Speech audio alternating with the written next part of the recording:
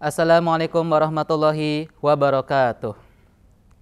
Alhamdulillah, alhamdulillahil wahidil qahar, al-azizil ghaffar, mukawwiril layli 'alan nahar, tadhkiratan di ulul qulubi wal absar wa tabsiratan di dawil a'babi wal i'tibar. Wa salatullahi wa salamuhu ala sayyidina Muhammadin wa ala alihi wa ashabihi ajma'in amma ba'du. Alhamdulillah dengan berkah dan rahmat Allah Subhanahu wa taala kita masih diberikan hidayah dan taufik untuk melaksanakan ibadah di bulan suci Ramadan ini. Di mana di bulan suci Ramadan ini pahala ganjarannya dilipat gandakan, pintu-pintu surga dibuka lebar dan puasa di dalamnya pahalanya sangat besar.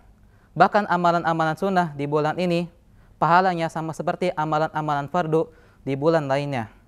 Hal ini dikhususkan hanya untuk umatnya Nabi Muhammad Sallallahu Alaihi Wasallam umat yang paling pendek umurnya tapi paling banyak pahalanya.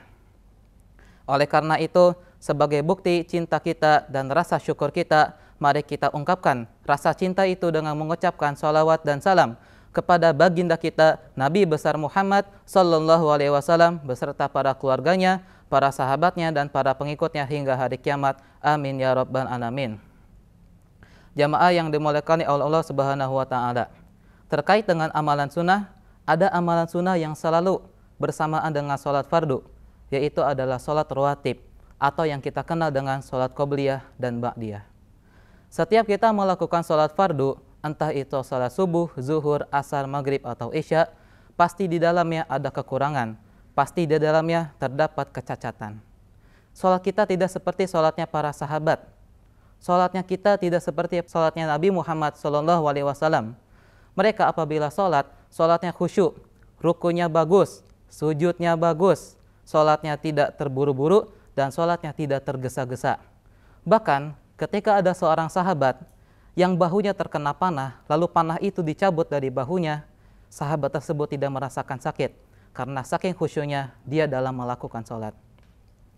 Tidak seperti sholatnya kita, banyak waktu kosong, tidak ada kegiatan, tidak lagi kerja, waktu sholat masih lama, tapi sholat kita masih terburu-buru. Lalu apa hubungannya dengan sholat rawatib? Tujuan disyariatkannya sholat rawatib, tujuan adanya sholat qobliyah dan ba'diyah adalah sebagai penambal dari segala kekurangan yang ada pada sholat fardu kita. Layaknya sebuah ban mobil bocor, yang apabila ban mobil bocor itu ditambal, maka ban mobil bocor yang awalnya bocor menjadi seperti semula lagi. Jamaah yang dimuliakan oleh Allah Subhanahu wa taala. Bila sholat kita dibandingkan dengan sholatnya para sahabat, sholat kita tidak ada apa-apanya. Apabila sholat kita dibandingkan dengan sholatnya para ulama, sholat kita tidak ada apa-apanya. Akan tetapi, mereka tetap melakukan sholat rawatib. Mereka tetap melakukan sholat qobliyah dan ba'diyah. Bahkan Nabi Muhammad SAW sekalipun tetap melakukan sholat qobliyah dan ba'diyah. Jamaah yang dimuliakan oleh Allah Subhanahu wa taala. Jika mereka tetap melakukan sholat qobliyah dan ba'diyah, apa kabar dengan sholat kita? Sholat kita banyak bocornya, tapi apakah kebocoran itu ditambal oleh kita? Sholat kita banyak kekurangan, tapi apakah kekurangan itu disempurnakan oleh kita? Sholat kita banyak kecacatannya, tapi apakah kecacatan itu diperbaiki oleh kita? Jamaah yang dimuliakan oleh Allah Subhanahu wa taala. Maka sangat penting bagi kita untuk melaksanakan sholat rawatib dia berperan sebagai penambal dari segala kekurangan yang ada pada sholat fardu kita. Kita harus ingat bahwa Nabi Muhammad SAW tetap melakukan sholat rawatib walaupun sholatnya sudah sempurna.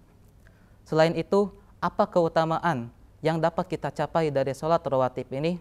Nabi Muhammad SAW bersabda, Man sholat fil yaumi wal laylati ithnatai asyra rak'atan tatawu'an banallahu lahu baitan fil jannah.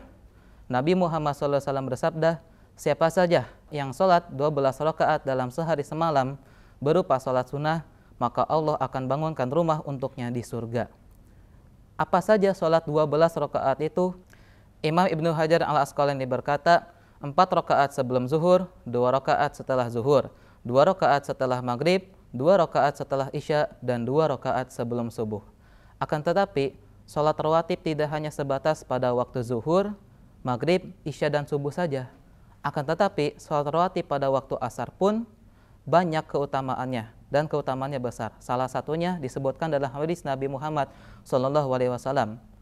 Man arba'an qoblal asri haramallahu badanahu ala nar. Siapa saja yang sholat empat rakaat sebelum asar, maka Allah akan mengharamkan badannya masuk ke dalam neraka. Bagaimana cara Allah mengharamkan badannya masuk ke dalam neraka? Dengan cara Allah meleburkan dosa-dosa yang ada pada orang tersebut, sehingga orang tersebut tidak akan tersentuh oleh api neraka. Jamaah yang dimuliakan oleh Allah Subhanahu wa taala, tidak boleh dan bahkan kita tidak bisa menyepelekan sunnah Nabi Muhammad Wasallam. Walaupun tidak wajib, akan tetapi amalan sunnah Nabi Muhammad SAW pahalanya sangat besar. Oleh karena itu, tidak ada alasan bagi kita untuk menolak dan malas melakukan amalan sunnah Nabi Muhammad SAW. Jamaah yang dimuliakan oleh Allah Subhanahu Wa Taala, ingat seluruh manusia itu rugi kecuali orang yang beriman dan yang melakukan amalan soleh. Semoga kita semua termasuk orang yang beruntung di sisi Allah Subhanahu wa taala. Amin amin ya rabbal alamin. Alhamdulillah alamin. Di sini Al Fakir tutup dan pamit. Wabillahi taufik wal hidayah. Wal afu minkum. Wassalamualaikum warahmatullahi wabarakatuh.